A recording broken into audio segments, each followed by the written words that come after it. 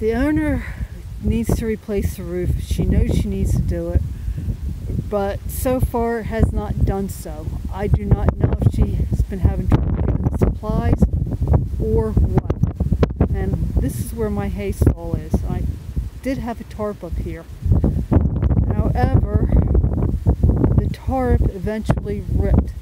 So now I had water coming back in my hay stall again. Now this is admittedly a part of the hay stall that I don't use for storing hay, but still I don't really want the water getting in there.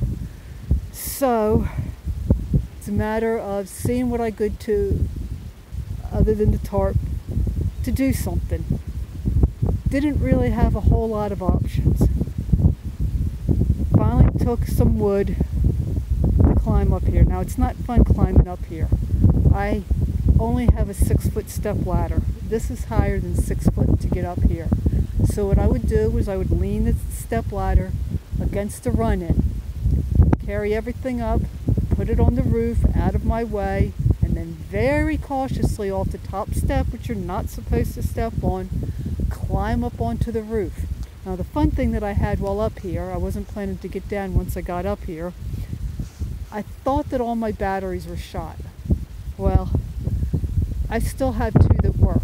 What is shot is my impact driver. So I'm up here with just a regular drill.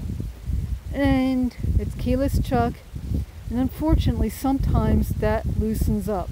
So I'm up here working to get everything done, wanting to get all the boards down that I had screwed up so I didn't have to get up here any again.